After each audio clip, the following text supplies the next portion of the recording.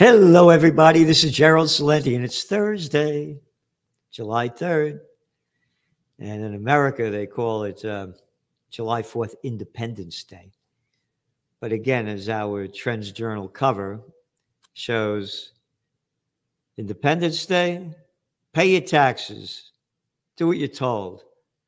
Yep, this country's declined so much in front of our eyes, it's just disgusting. A bunch of little freaks pay your taxes. taxes, taxes, taxes. This is this stuff barely existed when this country was founded. And now they keep robbing us of our money and using it to slaughter innocent people all over the world and give to their buddies. Disgusting. And it's a freak show. Anyway, on to the markets. S&P, NASDAQ, boop, new highs you know, RFK Jr. did an interview, and I'm I don't support him. I support a lot of what he supports, but as the man who launched Occupy Peace, and he is so pro-Israeli genocide, I'll have nothing to do with him. He did this interview, and he said it was on breakfast radio. There's three giant corporations: BlackRock, State Street, and Vanguard which own collectively own each other, which collectively own each other. So it's really one giant corporation, but they own 89% of the S&P. They own everything. And they've now decided to buy every single family home in America, it goes on. So according to Business Insider, and this was on Yahoo Finance, the um, they did research an academic paper in 2017 titled, this is 2017. This, it's even gotten worse since then. This is 2024.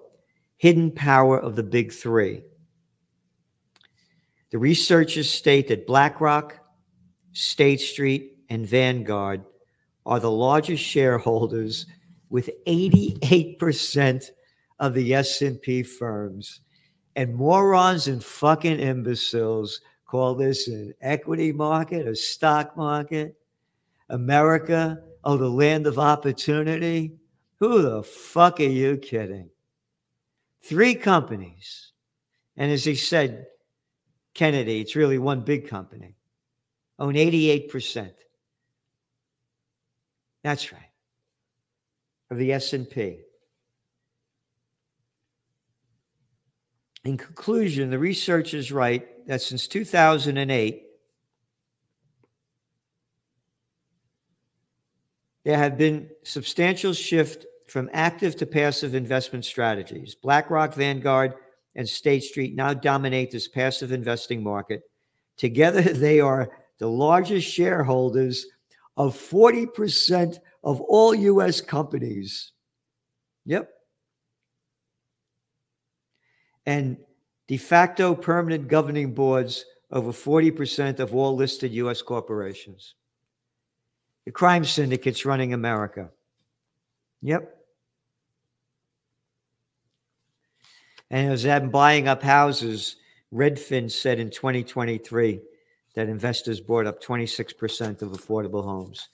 That began, by the way, back in the panic of 08 when there was the subprime mortgage crisis the banks, the bandits who got $29 trillion bailout, according to Bard College, Levy Institute of Bard College. Hey, you don't have a job? You're deep in debt? Don't worry about it. Sign over here. You got a subprime mortgage. So all these foreclosures that happen, the banksters, Blackstone, one after another, started buying them up. And that's what the country's become. As I said, when I was a young man, there were grocery stores, hardware stores, stationery stores, drug stores. Now they're all chains. You like Staples? No, I like Lowe's. Well, Home Depot is much better. I think there were hardware stores everywhere, everywhere. Gone, gone. Very few. They've taken off everything. Kroger. No more grocery stores. It's a crime syndicate running America, and the people are going broke. And this is from Fox. housing prices are growing more unaffordable in the U.S.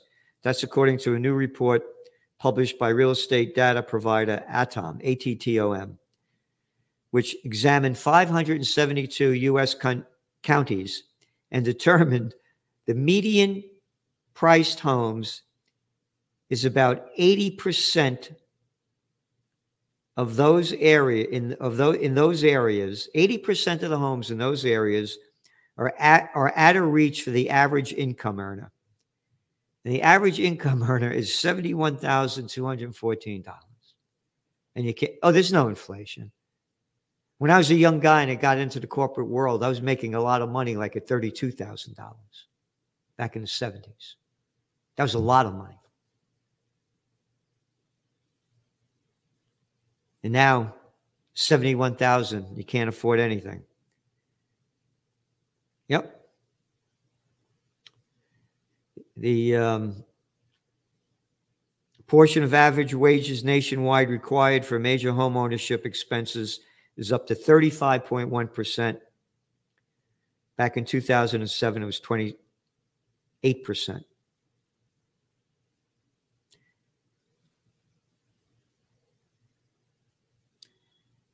In fact, major home ownership expense on a typical home sold during the second quarter required an annual income, you ready? Almost $91,000 in order to be considered affordable. And that's 25% higher than the average national income. But hey, don't worry about it. We got BlackRock. We got State Street. We got Vanguard. And they run America. Bloomberg. Nearly one quarter of all office space will be vacant by 2026. Huh. No kidding. What's one of our top trends? Office building bust? Banks go bust? Hardly talking about it because here's an article in today's Wall Street Journal. Private real estate funds face a jump in withdrawals. Starwood Capital Group's move to severely tighten restrictions on investors' withdrawals from its $10 billion real estate fund is rippling through the $90 billion private real estate fund business. Goes on. Why is it rippling? Here's why it's rippling. Ready? Down here. The shrinking fund business is one of the most dramatic signs of commercial property downturn caused by the jump in interest rates and flagging demand in the office sector. Investors who enjoyed outsized returns when real estate boomed have lost money in recent months as property values have fallen. How's that for mainstream media fucking? Oh, come on now. That ain't even bullshit. That's horseshit. Total fucking horseshit. The language that they use. A downturn caused by a jump in interest rates? A fuckface the downturn was caused by scumbag politicians who locked down the country and forced people to work at home. You got it? And according to that Bloomberg article, a full 85% of North American organizations polled by brokerage Jones Lang LaSalle Inc. have implemented hybrid work and occupancies across U.S. Uh, cities is stuck at about 50% of pre pandemic. It's not pre pandemic, it's pre COVID war brought to you by scumbag politicians. Again, they called it a pandemic on March 11th, 2020, when the grand total of 4,219 people died out of 8 billion.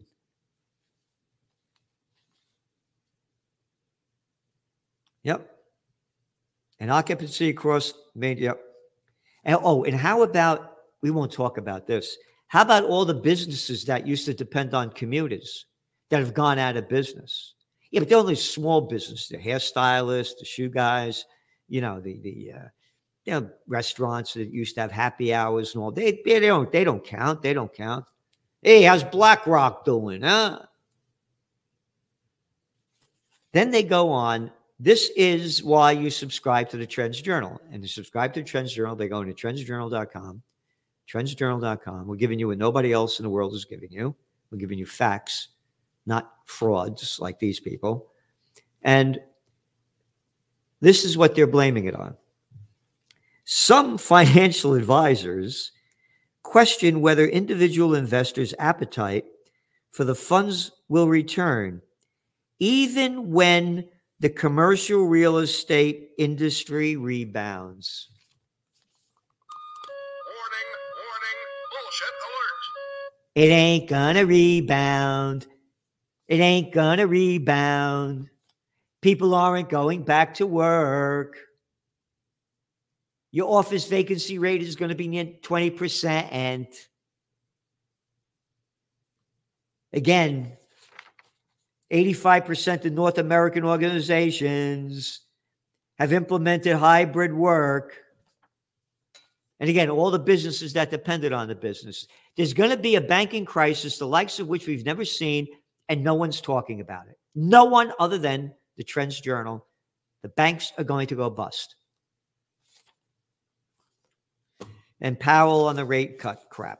Oh, by the way, we're getting shadow banned. We're seeing one comment after another about um, people not being notified that we're doing you know, we're, we're doing a podcast. We're doing it today because tomorrow's the Fourth of July, and I'm taking off for the weekend. And um,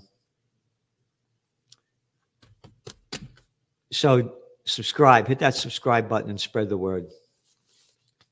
So Powell puts rate cuts back into view.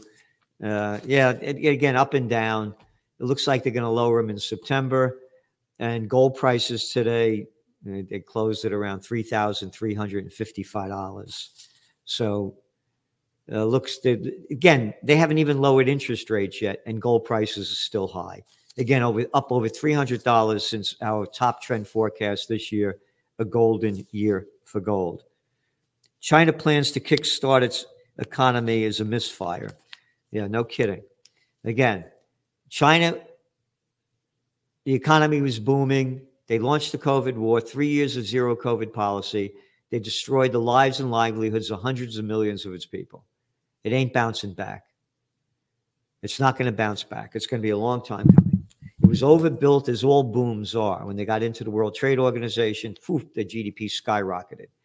And, and they, they overbuilt the place. By some estimates, 30% of China's gross domestic product is real estate driven, then the real estate's in the toilet. And what else? So yeah, this is the Wall Street Journal. Big thing, this guy. Stand with Evan. Look at that. They didn't stand with uh, Assange. Okay, on to the Biden thing. It's up and down now. President Joe Biden has told a key ally, a key ally. What the fuck is a key ally? That his reelection campaign against former President Donald Trump may not be recoverable if he cannot quell concerns about his fitness for office. The guy's out of your fucking mind in front of everybody's eyes, has been for a long time. And this is a shithead. That's the president that the Supreme Court, there he goes. This is one of our Trends Journal covers two weeks before the, the, the, the debate, the fall of America. And now it's like big fucking news. And this is the, the cover, be, again, two days before the debate, presidential reality show, The Great Debate, Daffy Duck versus Goofy. That's all, folks. Everybody saw it before their eyes. These are the top two people running America. And now the Supreme Court, Supreme bunch of shits, came out with that new law that a president can kill, murder, steal, rob, do whatever the hell he wants or she wants, and they're okay. They could do it. Hey, it's the new America, the kingdom, his majesty. Roll out that red carpet. Disgusting what's happened to this country. An unnamed ally said Biden is still invested in a reelection fight, but he's aware, he knows he has two more events like this. We're in different places. Yeah, reckoning on Biden age has come. Yeah, what fucking took so long? What fucking took so long? It was in front of everybody's eyes. Oh, I'm so concerned about uh, uh, the guy Justin Timberlake got DWI. You know. Again, what took so long to see this? And now the big news is that Harris is likeliest to top ticket if Biden pulls out a poll. He's going to pull out. I believe he is, and I'm still saying Gotso and Gavin Newsom is going to be the guy because Harris got no following, and she's about as dumb as he is. On to the Israel war. Gaza militants are rearming and regrouping. Yeah, the militants. Yeah, they were militants what they did, but now how about the militants that are destroying them, killing what? Now it's over about 40,000 Palestinians, innocent people. 70% women and children, destroying the whole place, but they're militants. Israel, oh, you know. Council on American Islamic Relations CAIR said that, um, and the, they report that the Air Israeli group Peace Now said that Israeli authorities recently approved the appropriation of five square miles of Palestinian land in the Jordan Valley. And this is the biggest take since the 1993 Oslo Accords. I'm tired of hearing this bullshit that God gave you the land. What if you don't believe in God? A lot of people don't. And what if you don't believe in the God you believe in? Not telling you to believe in the God I believe in. Don't tell me to. It's stealing land in violation of the Geneva Convention and Article 242 of the United Nations. But they keep doing it. And the war is going to keep ramping up. Hezbollah launches barrage of rockets at Israel after top commander killed. Hezbollah says a top commander had been killed in an Israeli attack in southern Lebanon, and they're going to keep ramping it up. Ramping it up, ramping it up, ramping it up. And Iran said, it's in your Trends Journal, if Israel attacks Lebanon heavily, they're going to wipe out Israel because they're going to become involved in it. World War III, and that's why you have to come to our rally on September 28th. Peace and Freedom Rally. Four Corners of Freedom, Crown and John Street. Go to occupypeace.com, occupypeace.com. The speakers are going to be Scott Ritter, Judge Andrew Napolitano, Max Blumenthal, Anya Parampil, and others. And we're going to have music, entertainment. We have to unite for peace. We need a million people to get here. We got to make the news because they're going to destroy us. That little clown over there in Germany, Olaf Scholz, today said that, in my view, a ceasefire that involves Ukraine capitulation is one that we as Germany must never support. You're gonna have to gonna have to capitulate, fuckface. They're losing. Russia got over 20 some 20% of the land that they didn't have before. They're gonna have to capitulate. Nope. Because NATO to establish new posts in Kiev to bolster support, and Germany and Poland joined forces to fend off Russia. Ramping up World War II. Hey, oh, oh yeah, Germany and, and Poland, yeah, joined forces. Germany was great to Poland during World War II. Only oh, slaughtered how many people? No, they're your allies. World War III's begun. If we don't stop it, it's finished. We got maniacs in charge. They're only interested in themselves. Check out the interview I did with Judge Napolitano today as well. And go to Judging Freedom. He's really making it happen. Great guests. And we're giving you everything we can. Subscribe to the Trends Journal. The more subscribers we have, the more we could do. Not in terms of giving you what we're giving you, we're giving you the best we can. But in terms of we get the word out there of truth, justice, and the American way and the way of the world, life, liberty, and the pursuit of happiness. We give you facts, figures, trend forecasts, trends analysis that you don't get in anywhere else in the world. So thanks for tuning in.